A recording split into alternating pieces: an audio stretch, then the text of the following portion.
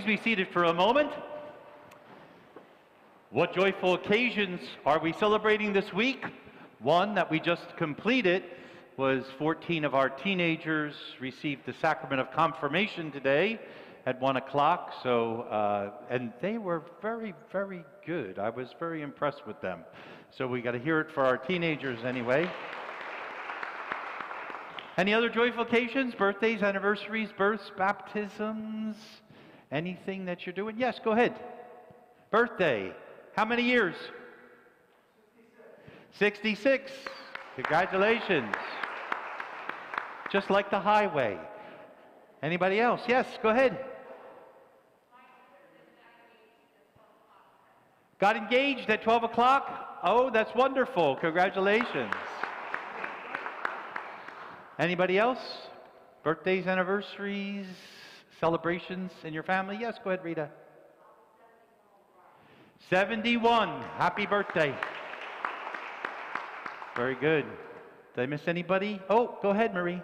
I had a birthday this past week, How old? 65. 65. Time for Medicare. All right. Anybody have special prayers or special intentions they need us to remember at this Mass? Looking around, anybody here and over there? Am I missing somebody? Okay, stand up so I can hear you. Go ahead.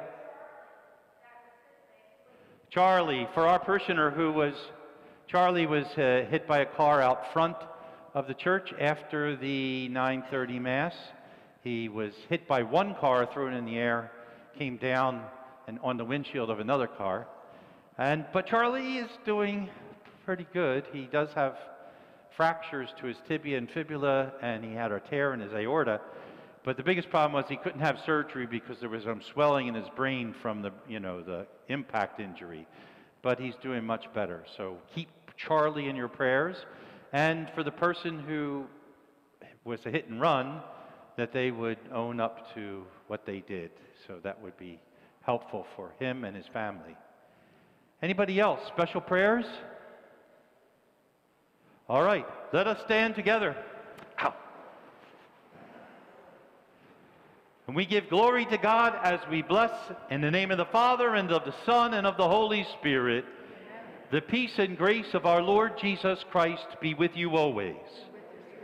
We pause now to ask God's mercy.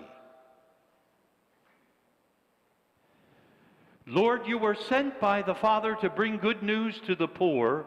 Lord, have mercy. Christ, you came to save us from sin. Christ, have mercy. Lord, you were sent to proclaim the grace and mercy of God. Lord, have mercy. May Almighty God have mercy on us, forgive us our sins, and bring us to everlasting life. Let us bow our heads to pray.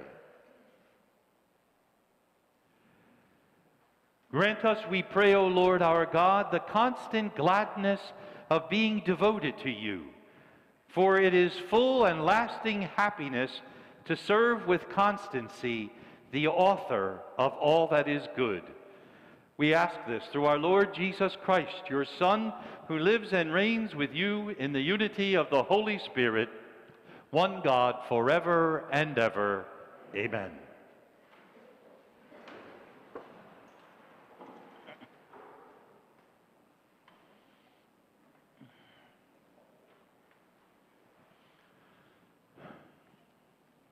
A reading from the book of Proverbs. When one finds a worthy wife, her value is far beyond pearls. Her husband, entrusting his heart to her, has an unfailing prize.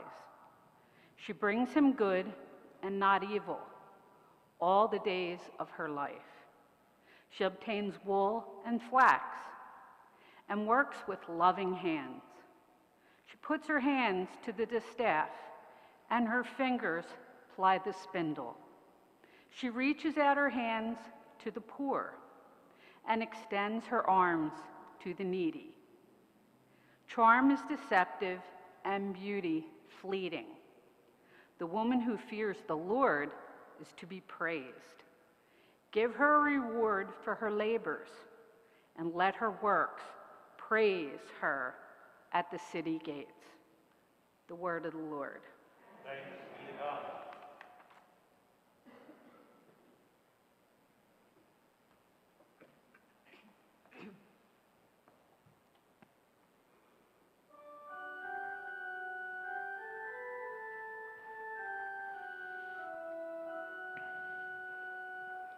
Oh, blessed are those who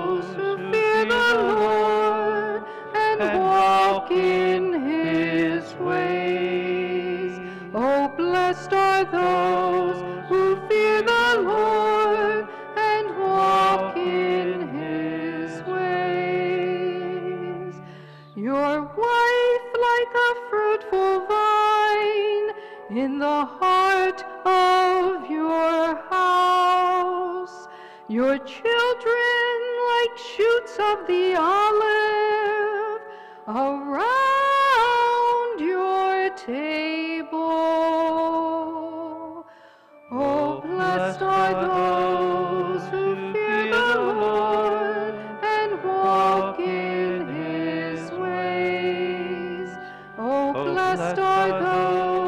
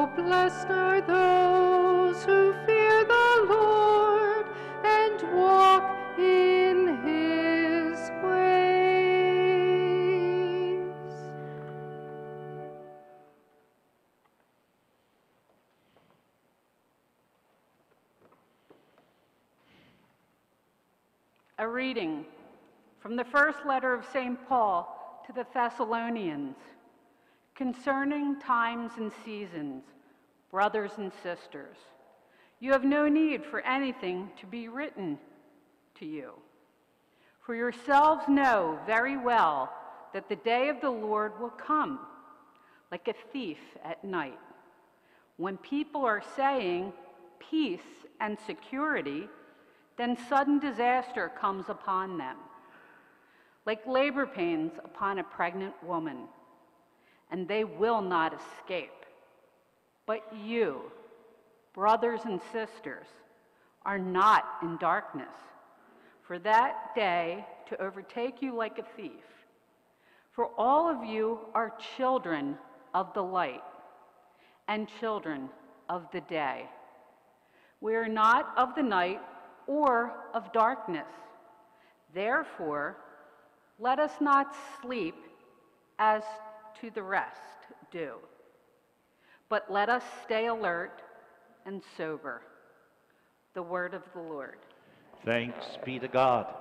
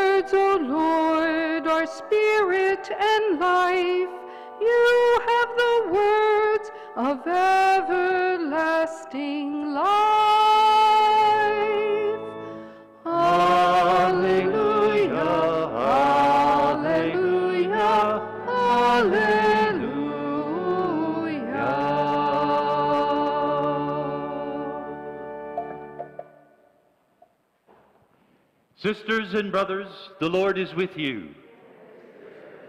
A reading from the Holy Gospel according to Matthew.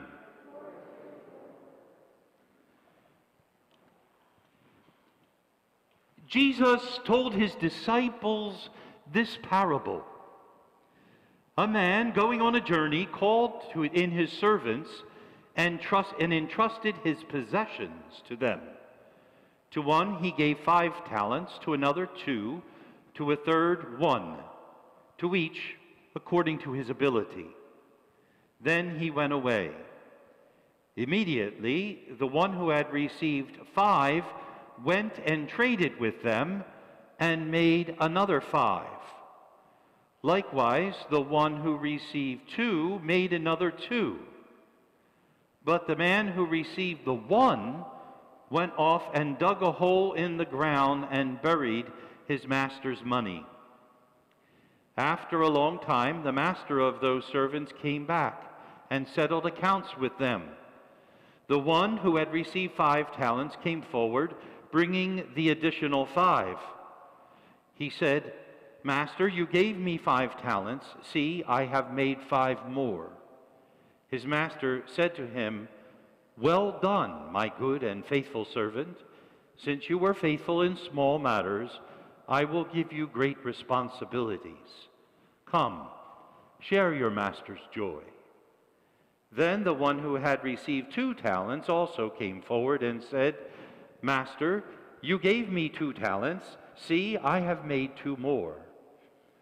His master said to him, Well done, my good and faithful servant. Since you were faithful in small matters, I will give you great responsibilities. Come, share your master's joy. Then the one who had received the one talent came forward and said, Master, I knew you were a demanding person, harvesting where you did not plant and gathering where you did not scatter. So out of fear, I went off and buried your talent in the ground. Here it is back. His master said to him in reply, You wicked, lazy servant. So you knew that I harvest where I did not plant and gather where I did not scatter. Should you not then have put my money in the bank so that I could have got it back with interest upon my return? Now then, take the talent from him and give it to the one with ten. For to everyone who has, more will be given, and he will grow rich. But from the one who has not, even what he has will be taken away.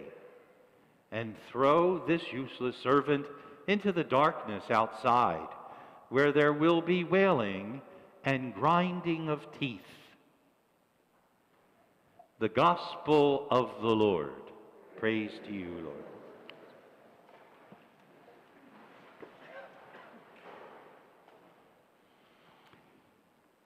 There is an old story about two farmers who are visiting each other over the fence in the middle of their property. And Jake, the first one, asked, So, what are you going to plant this year? Corn? Nope, Elmer replied. Scared of those corn borers. Well, what about potatoes? His neighbor asked. Nope, too much danger of potato bugs, announced Elmer. The neighbor pressed on. Well, then, what are you going to plant? Elmer answered, Nothing. I'm going to play it safe this year. Yes. Playing it safe, no crops at all.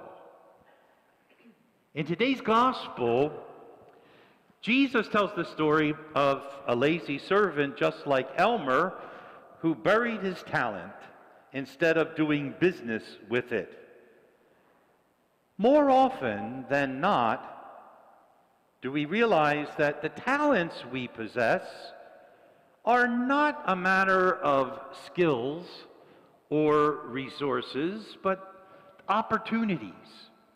The opportunities we have to make something good happen, to bring a measure of healing to a situation, to a broken heart or a spirit, to contribute our few minutes or our few dollars in order to make a difference in someone's life. Whatever our skills and resources enable us to do, the challenge of the gospel is to be ready and willing to respond to the opportunities we have to give joyfully and generously for the sake of God's kingdom.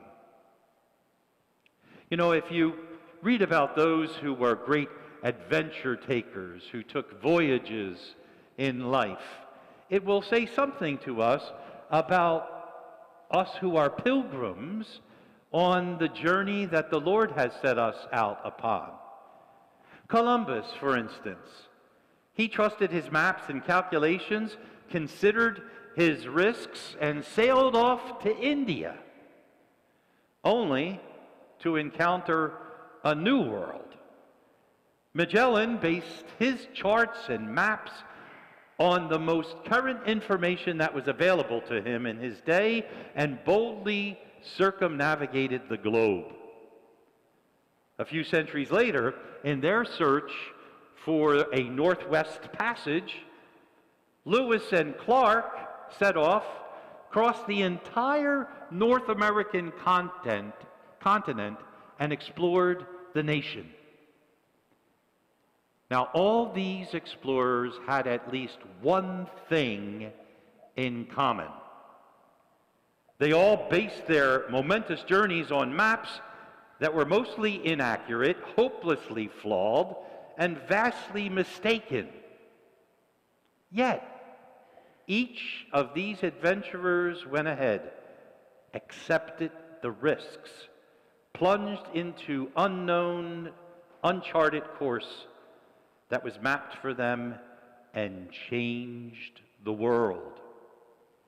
It is precisely because of their risk taking that the face of the planet was redrawn and the dreams of future generations were reshaped.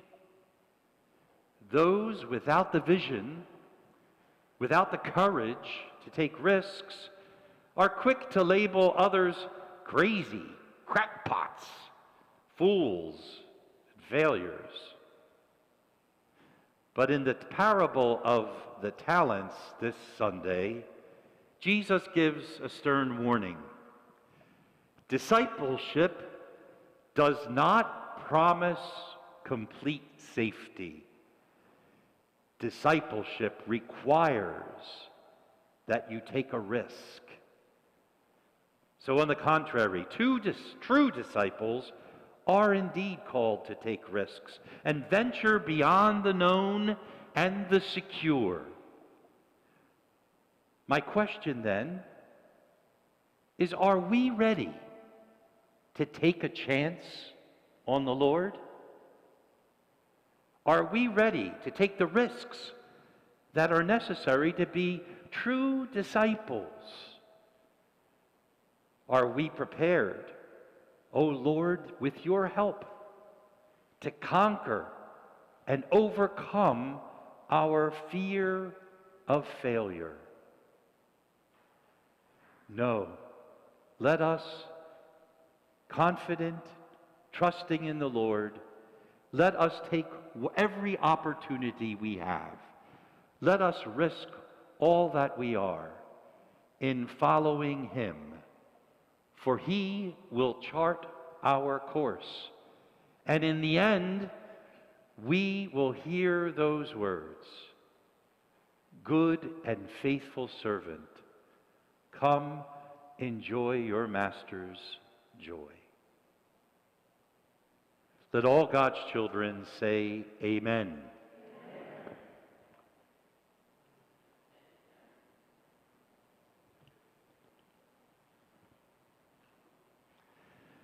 Let us stand to profess our faith. I believe in one God, the Father Almighty, maker of heaven and earth, of all things visible and invisible. I believe in one Lord Jesus Christ, the only begotten Son of God, born of the Father before all ages, God from God, light from light, true God from true God, begotten, not made, consubstantial with the Father. Through him all things were made. For us and for our salvation, he came down from heaven, and by the Holy Spirit was incarnate of the Virgin Mary, and became man. For our sake he was crucified under Pontius Pilate. He suffered death and was buried, and rose again on the third day in accordance with the Scriptures. He ascended into heaven and is seated at the right hand of the Father. He will come again in glory to judge the living and the dead, and his kingdom will have no end. I believe in the Holy Spirit, the Lord, the giver of life, who proceeds from the Father and the Son, who with the Father and the Son is adored and glorified, who has spoken through the prophets. I believe in one holy, Catholic, and apostolic church. I confess one baptism for the forgiveness of sins, and I look forward to the resurrection of the dead and the life of the world to come. Amen. Grateful for all the gifts we have been given, we ask for help that we need to serve God faithfully as we offer Him these prayers. For the church, that as the body of Christ in the world, we may proclaim and live out God's justice and compassion, we pray to the Lord. For all elected officials in government, may their leadership bring peace to our world and justice to all those in need. We pray to the Lord. For those enduring trials and challenges in life, may they come to know the loving presence of God and the support and compassion of this community. We pray to the Lord. For all who suffer, may our prayers bring them healing and strength especially those mentioned at the beginning of Mass, the intentions in our parish intercessory prayer book, and those called into our prayer chain. We pray to the Lord. For all those who have died, may the Lord's mercy grant them eternal rest, especially for Ursula Doherty being remembered at this Mass. We pray to the Lord. And now for each of our own intentions that we make in a moment of silence. For these we pray to the Lord. God of all good gifts, we know you are with us as we answer your call to act boldly in your service. Hear the prayers we offer today, for we ask them through Christ our Lord. Amen.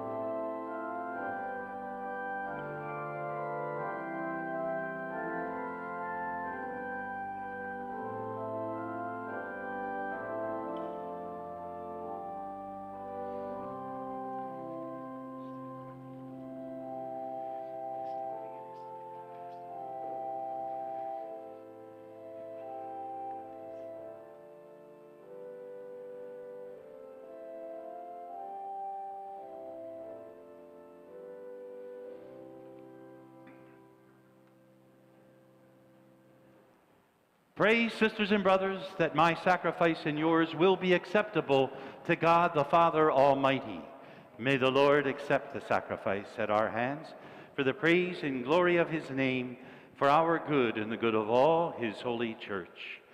Grant, O Lord, we pray, that what we offer in the sight of your majesty may obtain for us the grace of being devoted to you and gain us the prize of everlasting happiness through Christ our Lord. The Lord be with you. Lift up your hearts. Let us give thanks to the Lord our God. It is truly right and just, our duty and our salvation, always and everywhere, to give you thanks, Lord, Holy Father, Almighty and eternal God. For in you we live and move and have our being. And while in this body, we not only experience the daily effects of your care, but even now possess the pledge of life eternal. For having received the first fruits of the Spirit, through whom you raised Jesus from the dead, we hope for an everlasting share in the paschal mystery. And so, with all the angels, we praise you as in joyful celebration we acclaim Holy, holy, holy, Lord God of hosts, heaven and earth are full of your glory. Hosanna in the highest. Blessed is he who comes in the name of the Lord. Hosanna in the highest.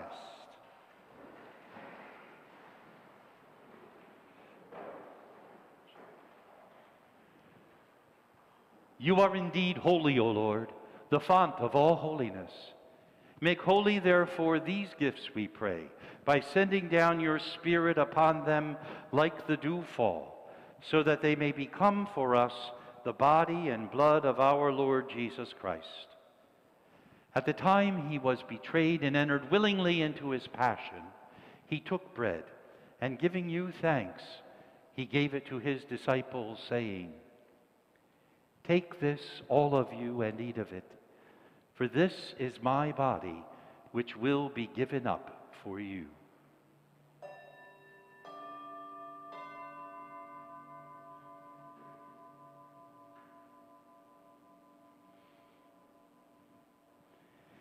In a similar way, when supper was ended, he took the chalice, and once more giving you thanks, he gave it to his disciples, saying, Take this, all of you, and drink from it. For this is the chalice of my blood, the blood of the new and eternal covenant, which will be poured out for you and for many for the forgiveness of sins. Do this in memory of me.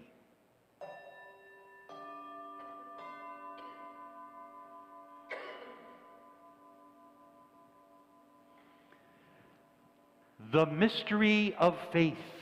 When we eat this bread and drink this cup, we proclaim your death, O Lord, until you come again.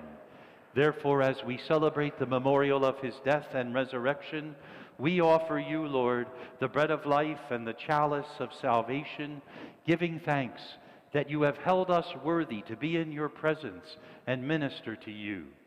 Humbly we pray that partaking of the body and blood of Christ, we may be gathered into one by the Holy Spirit.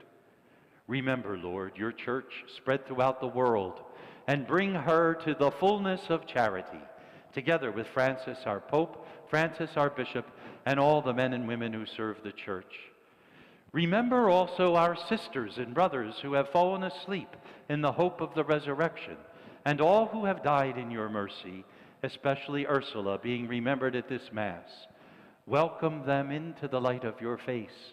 Have mercy on us all, we pray, that with the Blessed Virgin Mary, Mother of God, with Saint Joseph, her most chaste spouse, with the blessed apostles, and with all the saints who have pleased you throughout the ages, we may merit to be co heirs to eternal life, and may praise and glorify you through your Son, Jesus Christ. For through him and with him and in him, O God Almighty Father, in the unity of the Holy Spirit, all glory and honor is yours forever and ever. Amen. Taught by our Savior's command and formed by divine teaching, we dare to pray. Our Father, who art in heaven, hallowed be thy name. Thy kingdom come, thy will be done, on earth as it is in heaven. Give us this day our daily bread, and forgive us our trespasses, as we forgive those who trespass against us. And lead us not into temptation, but deliver us from evil. Deliver us, Lord, we pray, from every evil. Graciously grant peace in our days, that by the help of your mercy we may be always free from sin and safe from all distress, as we await the blessed hope, the coming of our Savior, Jesus Christ. For the kingdom, the power, and the glory are yours, now and forever. The peace of the Lord be with you always. Let us offer each other a sign of Christ's peace.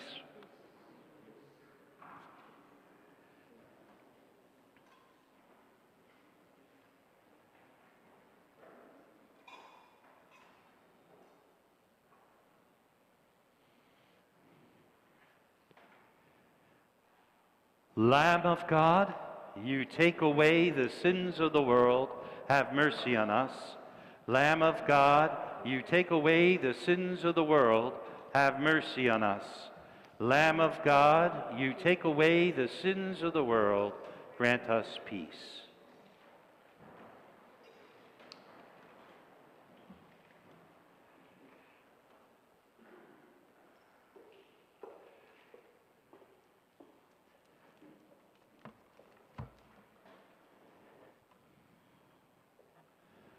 Behold the Lamb of God.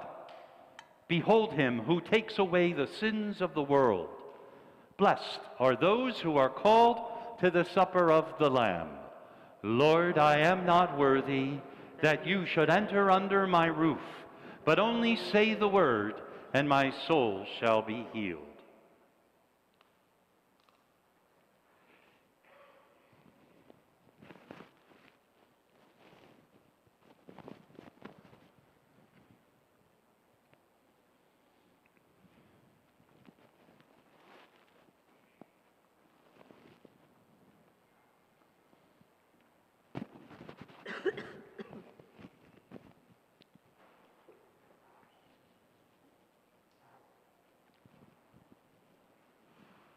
The body of Christ.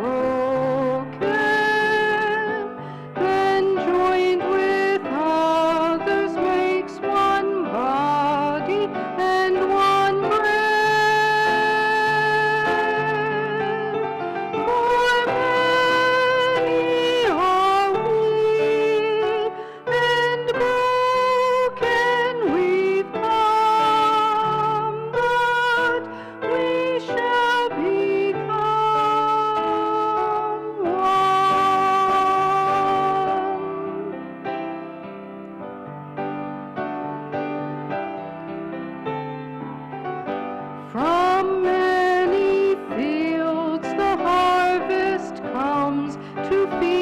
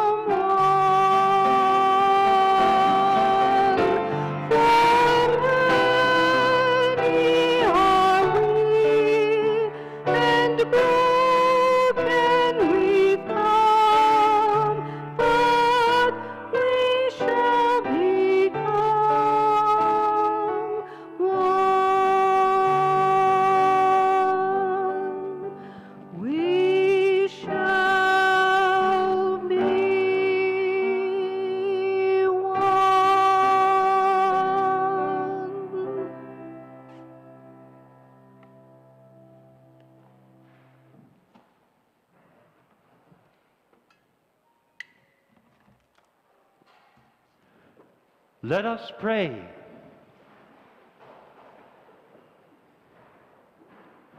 We have partaken of the gifts of this sacred mystery, humbly imploring, O Lord, that what your Son commanded us to do in memory of him may bring us growth in charity through Christ our Lord.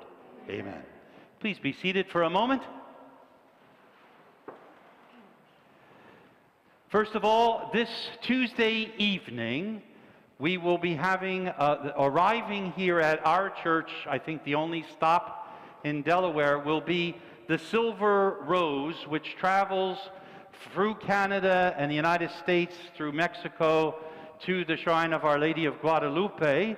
It is a prayer circle or a prayer journey that also prays for life as the roses that Our Lady of Guadalupe poured forth as a miracle when she placed the image of herself on the tilma, so these roses all represent a life. So the silver rose travels and will be brought here on Tuesday night, 5:30. Uh, we'll have a brief service in English, uh, probably about 20 minutes, and then afterwards, after everyone leaves, later on there will be a, another service in Spanish before the Rose moves on to its next destination in Maryland.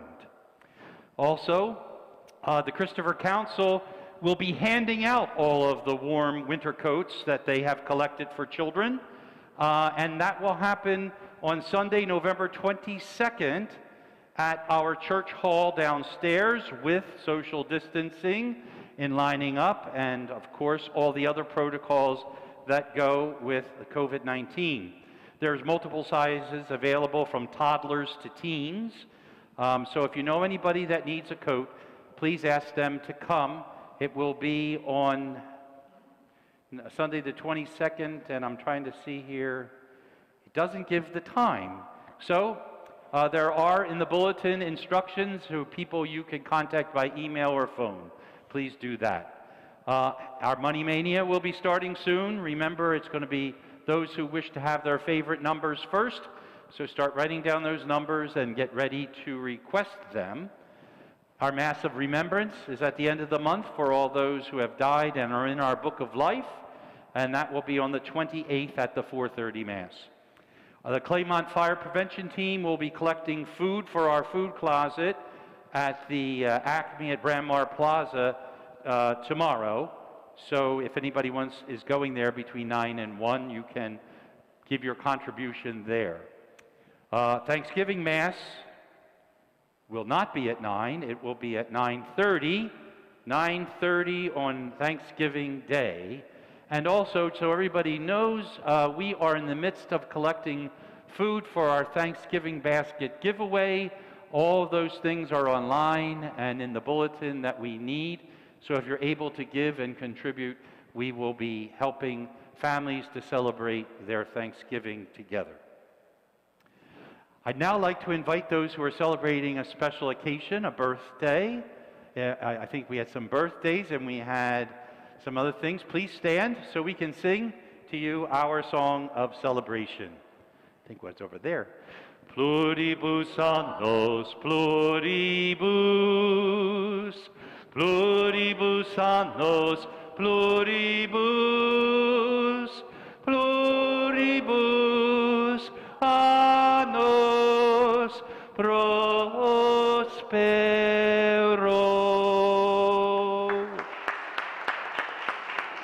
Let us all stand together.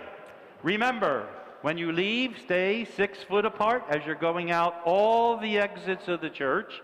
And also, please know and you can see that the virus is beginning to spread more rapidly and more completely in our country, and we must be more vigilant and more careful. So please make sure that you obey all of those warnings that are given by the CDC and here in church. And if anything changes in our situation, I will let you know. We'll contact you by phone or email or on our web pages and Facebook page and every opportunity we have. So Let's be safe and pray for one another. The Lord be with you. May Almighty God bless us, Father, Son, and Holy Spirit. Our Mass is ended. Let us go in peace. Thanks be to God.